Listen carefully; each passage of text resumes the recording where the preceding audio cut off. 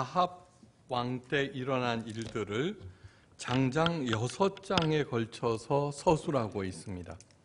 마가복음이 예수님의 생애를 기록한 마가복음이 16장에 비하면은 이 악한 왕에 대한 기록 굉장히 길다고 할 수 있습니다. 어, 그 이유는 악한 왕 아합을 통하여서 이스라엘과 오늘날 내 안에 도사리고 있는 악을 직시하게 하고 그 악으로부터 벗어나 하나님께서 주신 생명을 헛된 일에 탕진하지 않게 하기 위해서입니다.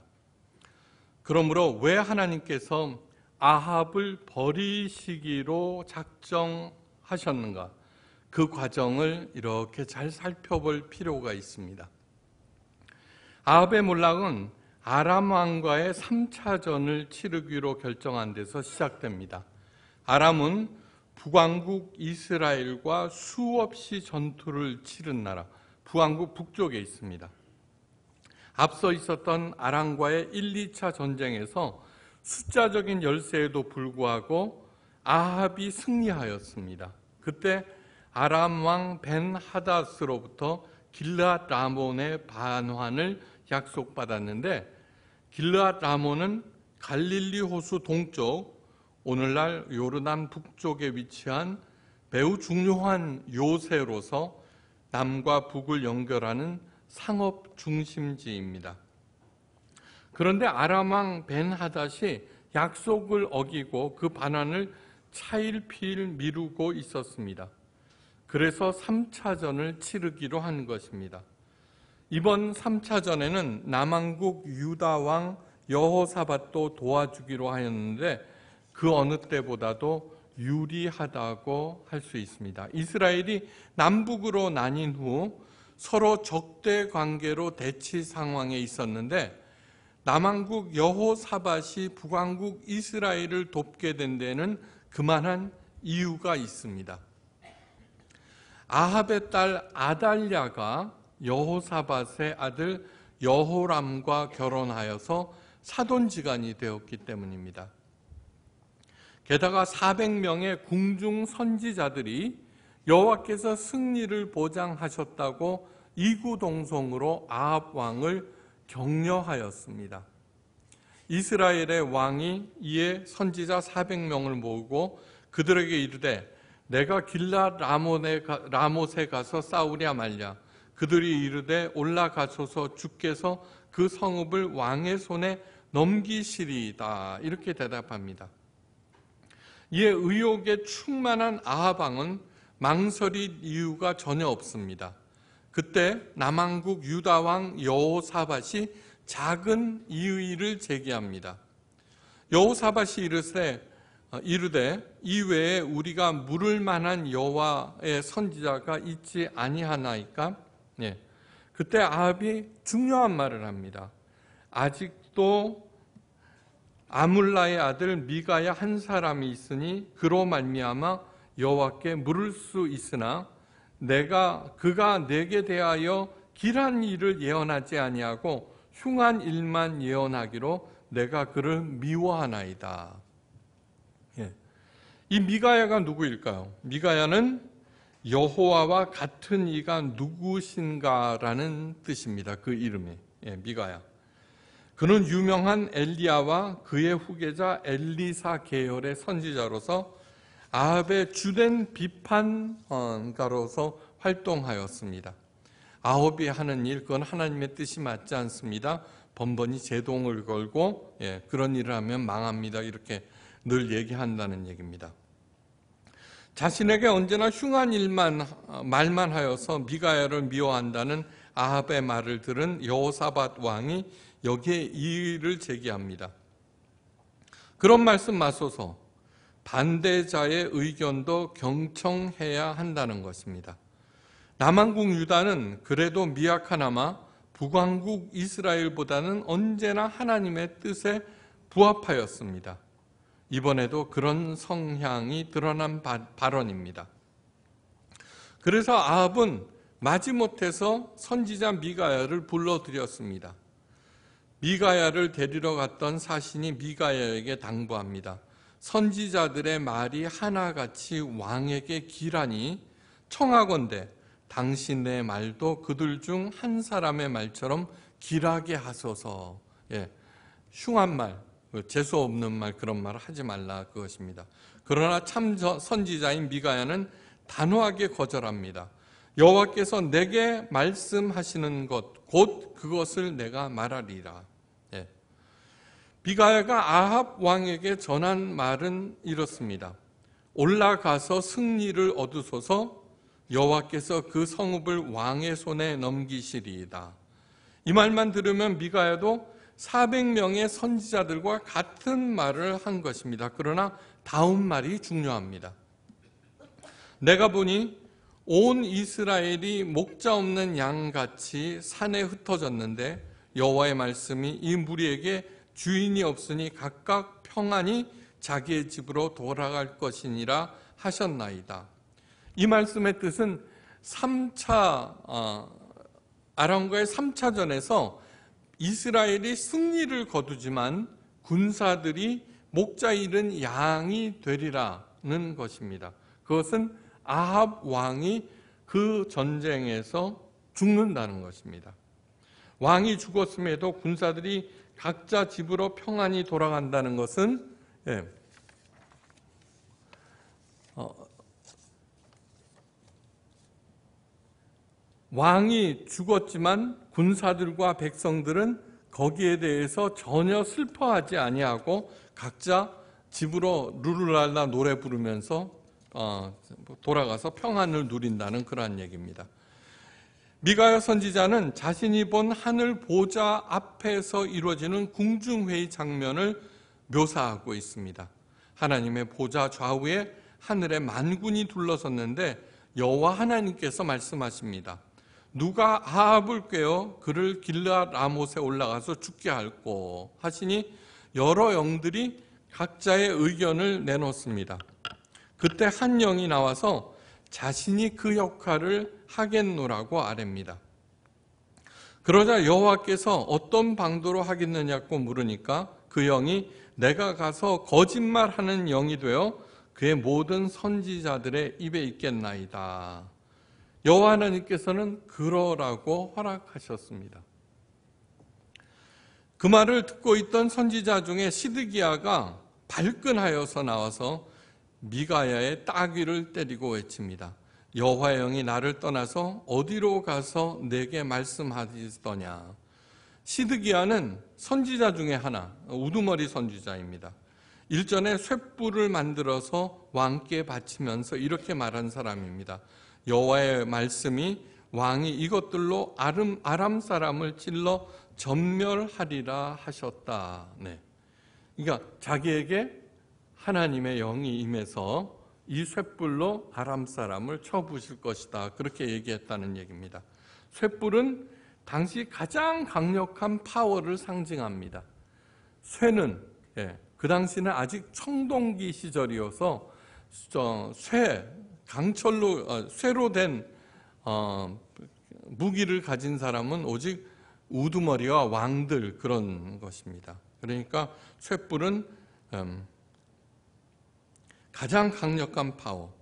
시드기야는 거짓말하는 영의 사주를 받아서 마치 하나님의 계시를 받은 양 어, 그렇게 말한 자신의 권위를 어, 미가야가 완전히 무너뜨리는 것에 대해서 발끈한 것입니다. 그 광경을 보고 듣던 아합은 미가야를 옥에 가둬버렸습니다. 여기서 등장하는 거짓말하는 영이 과연 누구냐 하는 것입니다. 하나님이나 하나님의 천사들은 절대로 자신의 목적을 이루기 위해서라도 사람들을 거짓말로 미혹하지 않기 때문입니다. 거짓말은 사탄의 방편이지 결코 하나님의 방편이 아니기 때문입니다. 성경에서 한 영이라고 하였는데 어떤 영과 같이 막연한 어, 영을 지칭하는 것이 아니고 어, 정관사 하가 붙어 있습니다. 하루아흐. 예. 이것은 거짓말하는 영은 사탄밖에는 없습니다. 사탄과 그의 하수들.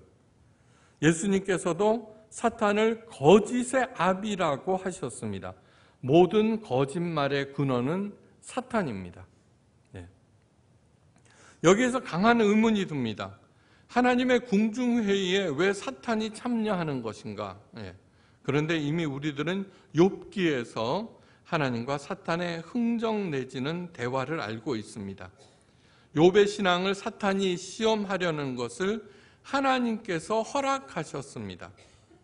분명히 해야 할 것은 악한 영 사탄이라도 하나님을 절대로 이기지 못하며 하나님께서는 그 사탄을 자신의 심판의 도구, 징계의 도구로 가끔씩 사용하신다는 것입니다. 예.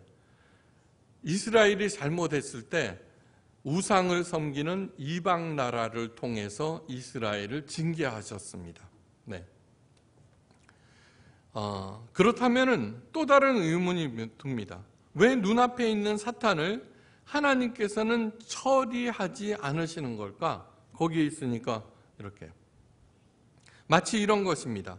내 사랑하는 자녀가 인질로 잡혀 있습니다. 그때 인질범을 처단할 수 없습니다. 내 자녀가 위험하기 때문입니다. 네. 그러니까 우리 모두는 하나님의 자녀들입니다. 그런데 거짓말하는 영 사탄이 우리를 미혹하였고 우리들은 거기에 동의하는 사람들이 많습니다. 예. 그 사탄에게 사로잡혀 있다고 하더라도 여전히 우리는 하나님의 사랑의 대상입니다. 자꾸 우리라 그러니까 안 되겠죠. 사람들은. 예. 그런데 사탄을 처단하면은 사탄에게 미혹된 사람들도 심판을 받습니다.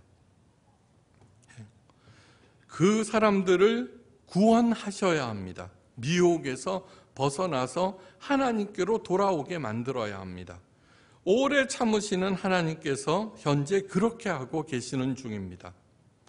그러나 하나님의 오래 참으심은 영원히 계속되질 않습니다.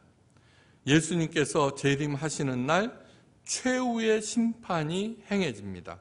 그때는 사탄과 그 하수들은 무적행에 갇히게 됩니다.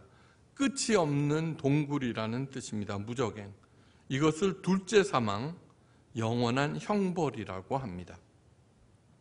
거짓의 아비 사탄은 아합의 거짓 선지자 400명의 마음에 아합이 승리한다는 거짓말을 씹습니다. 그래서 이 그들은 이구동성으로 아합의 승리를 하나님의 이름으로 보장하였습니다. 그러므로 거짓말을 하나님의 방책으로 보아서는 절대로 아닙니다. 예.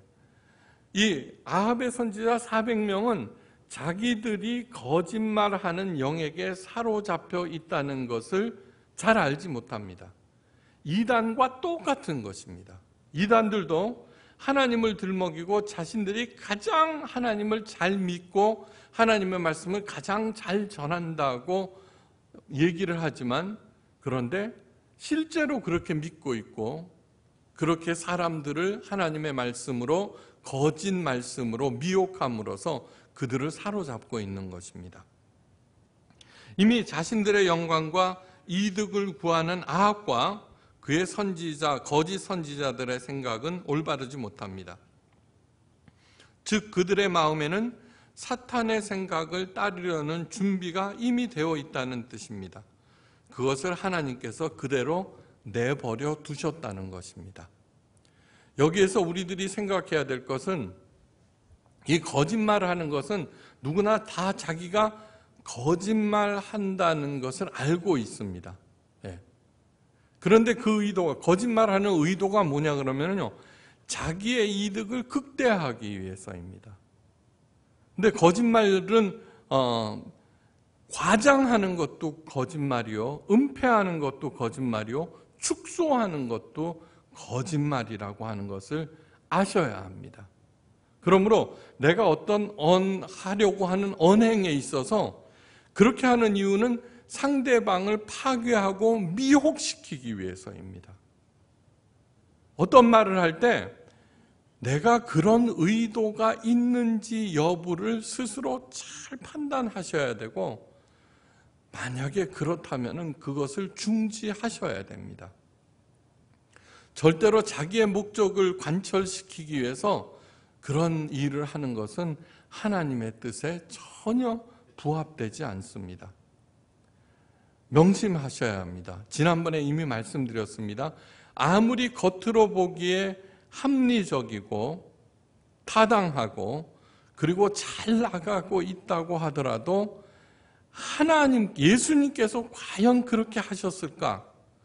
라고 물었을 때 아니라고 하는 일을 계속하면은 이미 파멸의 길에 들어선 것입니다. 그런데 잘 나갑니다. 승승장구하는 것처럼 보입니다. 그러나 그러나 그것은 오래 참으시는 하나님 덕분이지 그 책략 때문은 아니라는 것입니다. 마침내는 아합이 그렇게 잘 나갔다고 하더라도 예, 파멸되는 것과 마찬가지로 반드시 파멸됩니다. 그래서 성경에서는 악인의 형통을 절대로 부러워해서는 안 된다고 그들과 친구도 하지 말라고 늘 경고하고 있는 것입니다. 우리가 꼭 징계를 받아야 벌이라고 생각합니다. 예. 그래서 징계가 없으면 괜찮은 줄 압니다. 그런데 징계보다도 더 무서운 벌이 있습니다. 징계보다도 더 무서운 벌. 그러므로 하나님 징계, 하나님의 경고, 하나님의 그러한 것들은 전부 다 은혜 중의 하나입니다. 왜요? 너 지금 사망의 길을 가고 있어 멈춰야 돼. 라는 뜻입니다. 네. 로마서 1장에 예, 반복되는 구절이 하나 있습니다. 로마서 1장에. 사도 바울이 썼습니다. 하나님께서 저희를 마음의 정욕대로 더러움에 내버려 두사 저희의 몸을 서로 욕되게 하셨느니라. 이러므로 저희를 부끄러운 욕심에 내버려 두셨으니 로마서 1장 26절입니다. 또한 저희가 마음에 하나님 두기를 싫어함에 하나님께서 저희를 그 상실한 마음대로 내어버려 두사. 다시 말해서 내버려 두사가 반복되고 있습니다. 네. 이 일은 그냥 그렇게 하도록 그냥 그래 네 생각대로 그냥 진행해 라고 내버려 두는 것. 다시 말해서 하나님의 유기라고 부릅니다. 하나님의 유기. 하나님의 침묵과 유기에 대한 반응 중 심각하게 숙고해 봐야 할 반응이 있습니다. 아니, 사랑의 하나님이라면서 어떻게 내버려 둘 수 있어? 라는 반응입니다. 그런데 하나님께서 우리들에게만 주신 것이 있습니다. 자유의지입니다. 이 자유의지를 우리 인간에게 주신 것은 하나님의 최대 모험이었습니다. 자유, 그야말로 하나님의 간섭을 거부할 수도 있는 자유도 포함되어 있기 때문입니다. 사자는 인간보다 강해도 모든 사자들의 삶은 똑같습니다. 자유의지가 없기 때문입니다. 그러나 우리 인간들의 삶은 아주 독특하고 다양합니다. 모두 다 자유의지 때문입니다. 자유의지를 주신 하나님께서는 우리 한 사람 한 사람으로부터 가장 독특하고 개성 넘치는 그러한 영광을 받기를 원하시기 때문입니다. 그런데 불행하게도 우리 인간들은 그 자유의지로 하나님을 거부하고 사탄을 선택했습니다. 예. 선악을 알게 하는 나무의 실과를 따먹지 말라. 그것을 먹는 날에는 너희가 정령 죽으리라는 그 하나님의 명령 거부하고 그것을 따먹었습니다. 자, 하나님께서 어, 남아있는 선택은 두 가지죠. 그죠? 첫째는 그 자유의지를 회수하는 것입니다. 우리들한테서. 야, 안 되겠다. 너희들 오용했으니까 그거 다 내놔라. 자유의지가 박탈되면 우리 인간들은 똑같이 움직이는 로봇가 됩니다. 네. 의존적인 어, 인간에게서나 맹종하는 로봇이 필요하지 자존하시는 하나님께서는 로봇이 필요 없습니다. 그럴 바에는 세상 문을 닫아버리는 편이 훨씬 낫습니다. 네. 둘째는 인간이 원하는 바를 다 들어주는 것입니다. 이것이 우리 인간들이 바라는 것이죠. 그죠? 그러면 되잖아요. 그런데 그렇게 해주신다면 여러분 세상이 어떻게 될까요? 남북한은 서로 없어지기를 원합니다. 서로 사라져 주기를 바라는 상대들은 동시에 모두 사라져 버려서 여기에 아무도 남아 있지 않게 될 것입니다. 여러분들 가운데도 내가 사라져 버리기를 원하는 사람이 있죠. 그럼 제가 사라져 버립니다. 예. 그럼 여러분들은 안 그렇습니까? 남아 있는 사람들이 없다는 얘기예요. 자, 하나님께서 택하신 제3의 방법은 뭐냐 하면은 예수 그리스도의 사랑을 통해서 그 사랑을 감동하고 그 사랑으로 자신을 구원받았다는 것을 깊이 인식하고 그 사랑을 행하는 다시 말해서 타락한 자유의지가 회복되어서 내가 자진해서 하나님을 쫓아가는 것. 하나님의 뜻을 알고 내가 자진해서 그 뜻을 실행하는 것. 네. 그러므로 깊이 생각해 보셔야 돼요. 언제나. 지금 현재 내가 하고 있는 이 일이 하나님의 뜻에 합당한 것인가. 얼마든지 하나님의 것으로 포장할 수 있습니다. 네. 포장할 수 있습니다. 그런데 그 하나님으로부터 포장하는 것은 이단이 하는 일입니다. 더 나쁘다는 얘기입니다. 하나님께서 내버려 두시는 여러 종류의 삶을 로마서 1장에서 나열하고 있습니다. 제일 먼저 진리를 불의로 가로막는 자들을 내버려 두십니다. 예, 진리, 뭐 가르치면 저 엉터리야, 뭐 이렇게. 두 번째로 하나님을 알되 하나님께 감사하지도 영광을 돌리지도 않는 사람들을 내버려 두십니다. 우리 중에 상당히 될걸요. 하나님에 대해서 압니다. 그런데 하나님에 대해서도 감사하지도 않고 그분께 영광을 돌리지도 않고 여전히 예, 무늬만 크리스찬으로서 내 이득을 위해서 살아갑니다. 그냥 내버려 두십니다. 세 번째, 우상숭배로 전락한 삶을 내버려 두십니다. 썩어지지 아니하는 하나님의 영광을 썩어질 사람과 금수와 버러지 형상의 우상으로 바꾸었느니라. 사람들은 별걸 다 숭배합니다. 개구리도 숭배합니다. 이집트 사람들의 부활의 신은 개구리 헥트입니다. 겨울에 다 죽었나 싶었는데 봄 되면 와글와글 살아나거든요. 그래서 개구리를 부활의 신으로 섬깁니다. 통도사에 가면은 금와라고 있습니다. 금개구리. 그냥 누런 산개구리입니다. 근데 통도사에 살고 있는 그 산개구리들은 개만 나왔다 그러면 사람들이 막 합장하고 복 받았다는 도 오두방정을 다 떱니다. 한번 깊이 생각해 보시죠. 네 번째로 내버려 두는 삶은 정욕의 노예로 사는 사람들입니다. 그러므로 하나님께서 저희를 마음의 정욕대로 더러움에 내버려 두사 저희 몸을 서로 욕되게 하셨느니라. 다섯 번째로 마음에 하나님을 두기 싫어하는 사람들을 그냥 내버려 두십니다. 또한 저희가 마음에 하나님 두기를 싫어함에 하나님께서 저희를 그 상실한 마음대로 내어버려 두사 합당치 못한 일을 하게 하셨느니라. 예. 굉장히 중요해요. 우리가 하나님에 대해서 어, 내 마음에 없습니다. 예, 그걸 당연하게 생각합니다. 그런데 그 없다는 사실이 내, 내가 가지고 있는 생명과 에너지, 능력 그러한 것들을 합당치 못한 일에 소모되게 만들어 버립니다. 자연히 그의 인생은 예, 쓰레기 인생이 되겠죠. 미가의 환상을 통한 하나님의 예언도 그들은 받아들이지 않았습니다. 오히려 미가야를 감옥, 에 가두고 아합 왕은 전쟁터로 향합니다. 근데 미가야의 예언이 마음에 걸렸죠. 그죠? 그래서 유다 왕 여호사밧에게 자기 왕복을 입게 하고 자기는 일반 병사의 복장을 하고 몸을 숨겼습니다. 그러나 변장술로 아람 군대를 따돌릴 수 있었지만 하나님의 심판은 피할 수 없었습니다. 아람 군사 하나가 우연히 쏜 화살이 아합을 맞췄습니다. 그리고 아합의 그 죄 많은 삶도 거기서 끝나고 맙니다. 하나님께서는 몇 번씩 아합에게 분에 넘치는 은혜를 베푸셨습니다. 아람과의 자기보다 훨씬 강한 아람 연합군을 1차, 2차에서 이기게 하셨고요. 잘 먹고 잘 살게 하셨습니다.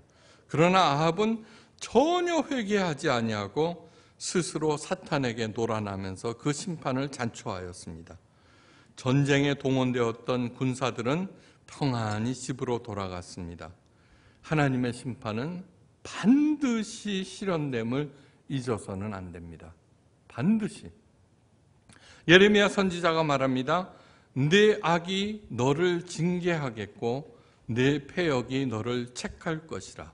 그런즉 내 하나님 여호와를 버림과 내 속에 나를 경외함이 없는 것이 악이요 고통인 줄 알라. 주 만군의 여호와의 말이니라. 자, 하나님을 경외하지 아니한 그 자체가 악이고 경외하지 않을 때 자연히 고통이 찾아온다는 그런 얘기입니다.